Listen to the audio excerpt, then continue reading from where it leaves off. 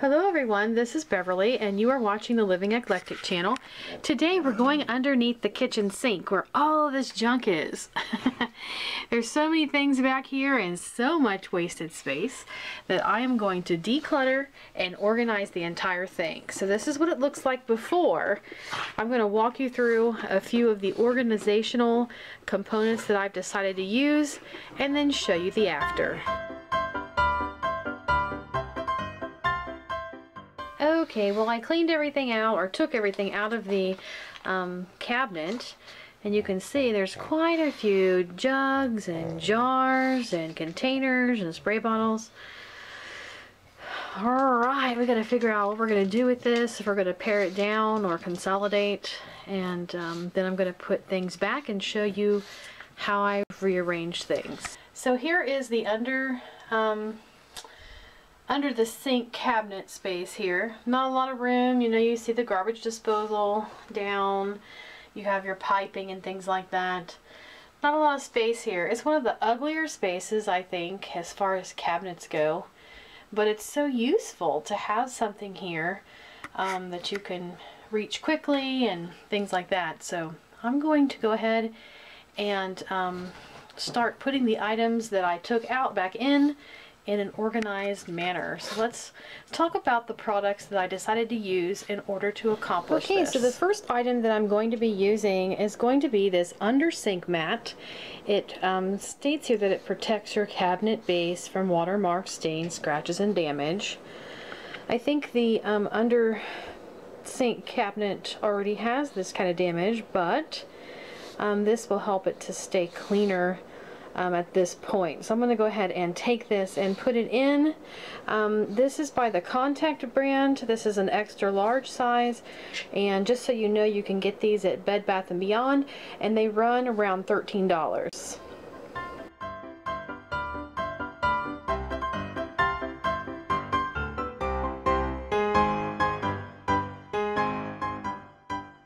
So the next thing I decided to use um, in the cabinet here is the Sliding Basket Organizer. This is by um, this brand. I am not going to try to pronounce that. Um, it says you can organize any cabinet and it gives some ideas here. Now remember, I'm going for versatility because in the event my situation changes, I need to make sure that I can use these items in other areas of my home. So this is a two drawer type of mesh um, stand and I'm going to be using this under the counter and putting items in that so I can pull out the drawers to see what's in there pretty easily. So let me show you what that looks like inside so the cabinet. So you can see how this um, is standing up here. It is on the opposite side of the um, drain and it fits very snugly in that corner. So the other item I decided to use here is this um, mesh metal, I guess it's a metal. Um, you can use these in your closet systems. I am using this one beneath the garbage disposal for maximum space. I can put something under and on top. And I just wanted to show you what that looks like inside. So we have that along with the drawer thing that I showed you just a few seconds ago. They're side by and side. And the final item I'm going to be putting in is another um, shelf system here. It is just like the one next to it and it allows me to put something below and up top and it's also a versatile piece so I can move it to another area of my home when the time arises.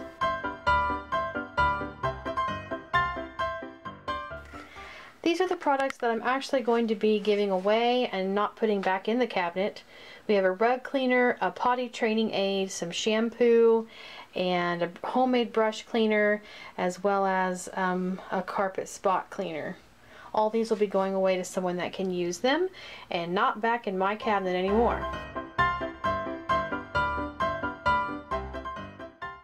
Okay everybody, this is what it looks like with all the products that I'm going to keep put back into the cabinet.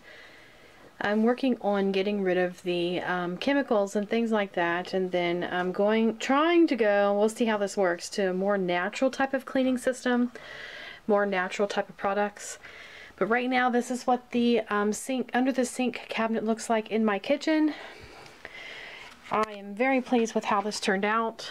You can also see the shelves in action. They pull out and I can get my things all the way out of the back. It goes pretty far. I can store things underneath this one. And of course I have more room here and here. Now clear in the back of the cabinet, which you can't really see, are all those tubes and um, wires and things like that. I have left those at this point undisturbed. Nothing's back there next to them or on them or around them rather. So um, I'm going to keep it that way and have just all the products here in the front. So this is the um, way it looks now and we're going to see how long I can keep it this way. Hopefully, like I said, some of the um, chemical type of products are going to be used up and then not repurchased and I'm going to be looking into and doing some research on more natural methods. So anyway, this is what it looks like. I hope you found this interesting and I'll talk to you soon.